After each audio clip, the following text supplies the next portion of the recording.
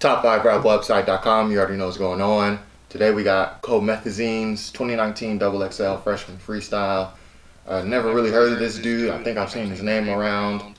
Let's see what he's got going. I've already seen everybody I want to see. I've seen Megan. I've seen Rico.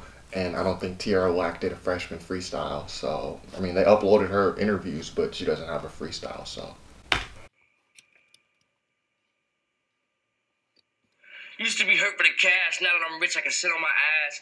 AK-47 Mac. I already know what this about to be, bro. Just by the way he start.